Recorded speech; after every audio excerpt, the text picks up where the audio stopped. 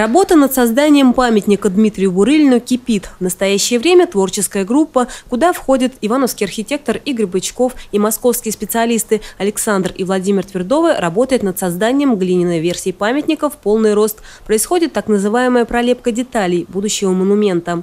Как раз на окончательной отделке больше всего э, тратится время, где поиск э, там, малейших складок, каких-то выражений лица.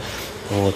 После этого, э, значит, когда работа будет закончена в глине, в мягком материале, а, приедут форматоры и будут снимать форму а, с данной скульптуры а, из гипса.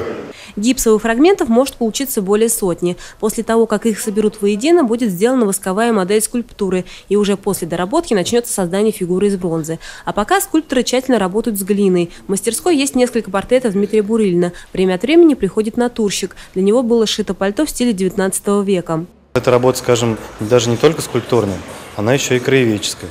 То есть, э, прежде чем слепить, нужно найти этот исторический материал.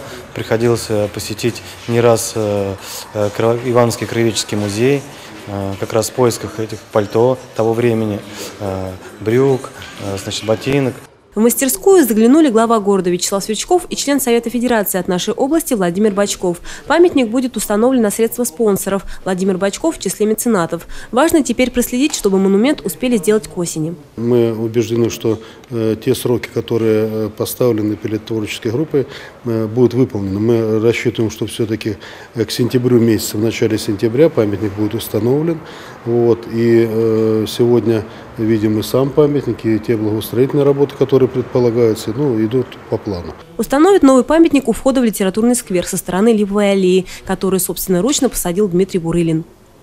Любовь Почерникова, Андрей Семиволков, РТВ Иванова.